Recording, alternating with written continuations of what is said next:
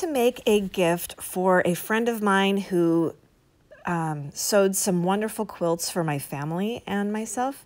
So I decided to take this little $7 house-shaped box I found at Big Lots and make it into a miniature quilting room for her. So first step was to choose a wallpaper. I picked a, a nice pale, um, like a floral print from Itsy Bitsy Mini. I actually have had that paper a long time, so I'm not sure if they still make it. Um, so I painted the box to match the paper. It, um, when I purchased it, it was white. I painted it cream just with some spray paint, just so um, I wouldn't have to worry about the corners.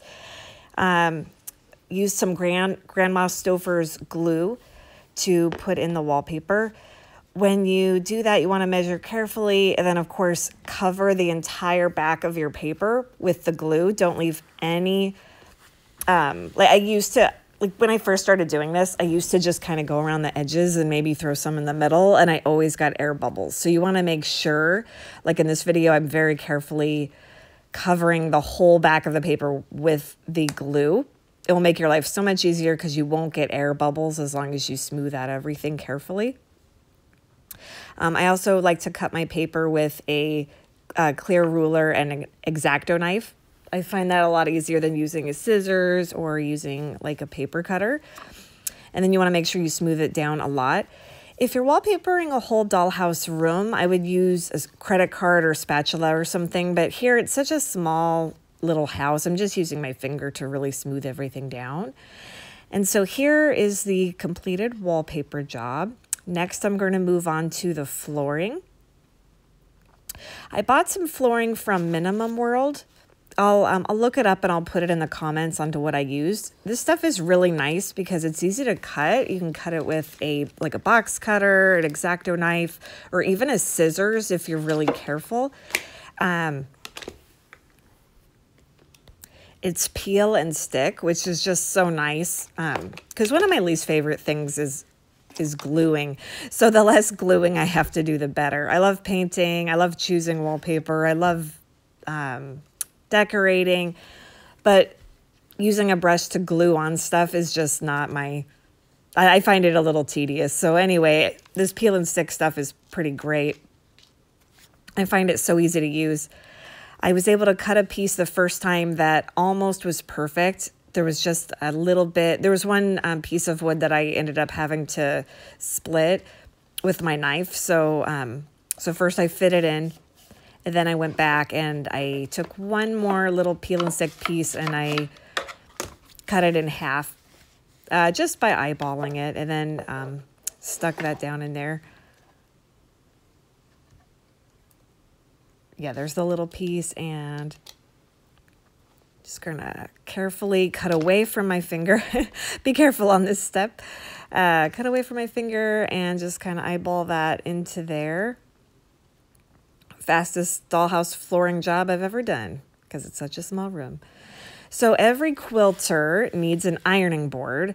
Um, this one unfolds, but I actually glued it to where it would stay open and added a little support piece so that it wouldn't um, possibly come undone. Then I built a, a table. I glued the fourth leg into the corner of the room and let that dry. And then I built the table and then I glued them together. Didn't have to be that way. That's just, I found that to be easier. And then I had this adorable green cutting mat that um, I know a, a quilter would find ha uh, handy. I think I got the quilting or the green cutting mat from Itsy Bitsy Mini. I'll double check that too. I'll put all this stuff in the um, comments.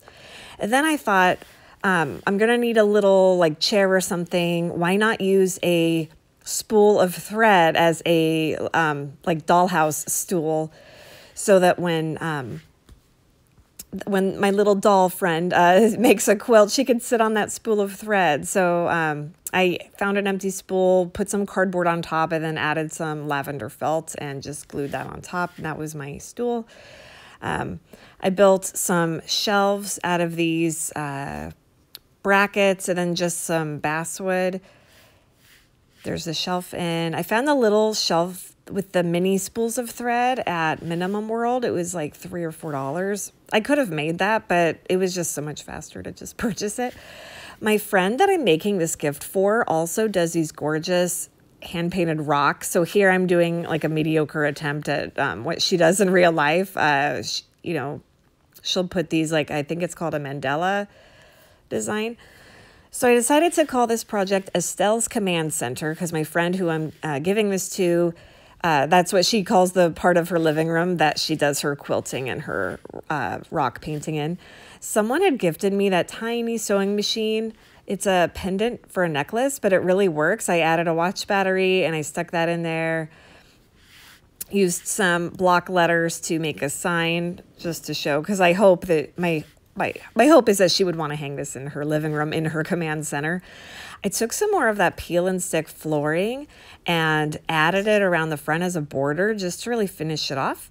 On the back, I took some felts from, um, I believe, Dollar Tree and stuck them on the back so that if she hangs it on her wall, it won't scratch up her wall in any way. Um, here I took uh, some detailed video of uh, the process that I used to do the roofing. So I had already, I already had these uh, roof tiles that were, um, or shingles, I should say, that were, that I had dyed a long time ago. And what's funny is I don't even know what project that was for. I looked at all my projects and I'm like, that doesn't match any of those.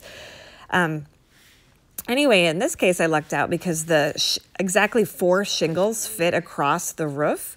So it was really easy to just glue four. And then I, on the next layer up, I would glue three in the center. And then just with the scissors, um, just rip the other piece and use them on the edges. And so here I'm showing in real time about how long it takes me to glue. Um, a full dollhouse does take a while. It's a little tedious, but this was so fast because it was such a small project.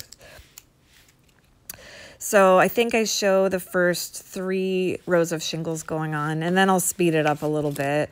I'm just using Aleene's uh, tacky glue. I find that works just fine. And probably I should let the rows dry before I keep going, but I honestly, I just, I don't find much trouble with just gluing a row and then gluing the next row, gluing the next row, you know, and just carefully repositioning as I go. If this was a full dollhouse with a very long roof, I would measure like some guidelines. I'd take a clear ruler and a pencil and um, maybe even a level and, you know, put some lines on, draw some lines on the roof before I start gluing, just because after a while you can start to go a little uphill or a little downhill with your row and not realize it till it kind of snowballs and then you're really crooked. On this, it was easy to just look at it because it was not even four inches wide. Um, so here I am just adding some more shingles. So yeah, if you're um, in a moment, I'll show the, the ridge line of the roof. I do a different technique there. Um, some other things with this project are, um, I used a lot of different glues on this project.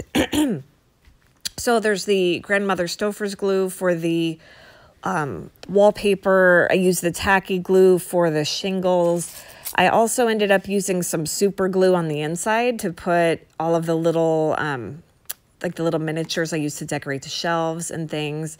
And I used also some hot glue to um, to put some of the th items down as well. And it's it's I, I I should have a rhyme or reason to what kind of glue I use for what. I, I use the tacky glue for almost everything, especially wood on wood. I don't find that I need to have spe like specific wood glue. Um, tacky glue is really great for things that um, I want to stick down pretty quickly, the hot glue is good. And then for tiny little things or metal, I'll often use the um, super glue. And then the thing with the super glue is it takes a super long time to dry. So you want to set the item down and then leave it alone. Don't move it because it like breaks the bond immediately with the super glue and then you have to glue it again. This is my daughter's dollhouse, and I just took a picture of this ridgeline here. So basically, you're starting from the outside and you're shingling towards the inside, and then you have a finishing centerpiece that goes on top. So I took a picture of that so I could kind of emulate it here with this little house. I don't think the little house turned out as well as when I did my daughter's dollhouse. Um, that dollhouse we made for her, oh, it was a her her birthday's Christmas Day. So Um, there's always a lot of pressure at Christmas time to make her Christmas super magical. And when she was five, she said she wanted a dollhouse because, of course, I'm addicted. And, uh, you know, she's always playing in, in my project. She's actually really careful. So we took a couple months before Christmas and we built her a dollhouse in our garage. That was a just a picture of the roof that you saw there. Um, there's a picture of my finished ridge line on this project. Uh, that was before the glue dried, so it does look better after the glue dries. I decided to add some siding because I already had it and I didn't need hardly any to do this project. So I used some French blue colored paint, painted that up, glued it to the sides. Um, I found this little rotary. Uh, I, I think that rotary cutter kit was this from the same Itsy Bitsy Mini that I got the green cutting mat from. And uh, here are some completed pictures after I glued everything in. Um, there's my note I wrote to my friend, uh, thanking her for all of the gorgeous quilts that she made for my family. And uh, oh, and I, I put I made a bunch of fabric bolts and put them in the background. Um, on the left, on the bottom, there's actually some real quilter's batting that I rolled up. Thank you so much for watching, and I'll see you next time.